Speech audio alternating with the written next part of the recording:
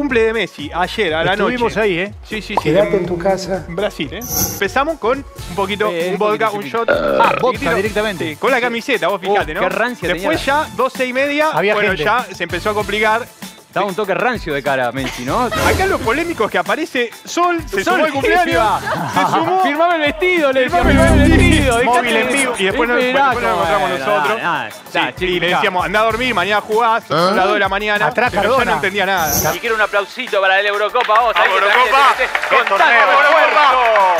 Cristiano Ronaldo alcanzó el récord con dos goles, el récord de máximo goleador de la Eurocopa, ¿no? Con 14 tantos. Claro. Y máximo goleador en la historia de las selecciones. Sí. 109 tantos. Alcanzó a un iraní. Quiere ir por unos récords que la gente no conoce todavía. Ajá. Y que son algunos récords alternativos. Alcanzar la máxima cantidad de selfies que le sacaron a Kaká en un partido que son 17. Miren, hasta el árbitro le pide una selfie a Kaká. Increíble. Quiere batir otro récord, que es el récord a la mayor cantidad de chivos en un partido, que lo tiene el, el español. eh, bueno, mira, ahí va.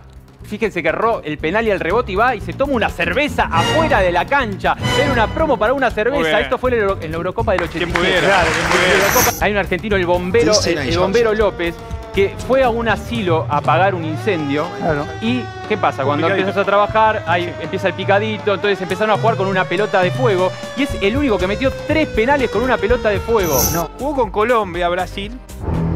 Y otra vez una ayudita, viejo. Otra vez. Yo soy el volante creativo. ¿eh? Estoy Ajá. acá, agarro la pelota, arranco la jugada. Se la doy a Pitana, Pitana la para, me la devuelve, yo se la paso al carrilero, carrilero para Firmino y Firmino.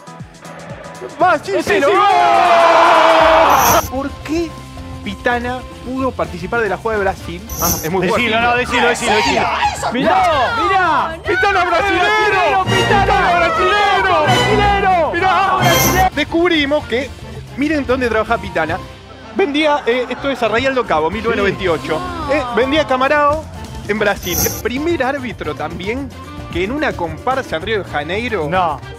Cobró un penal. Estoy- miren, miren, ¿quién es? Es Pitana también. ¡Al! Pitana también.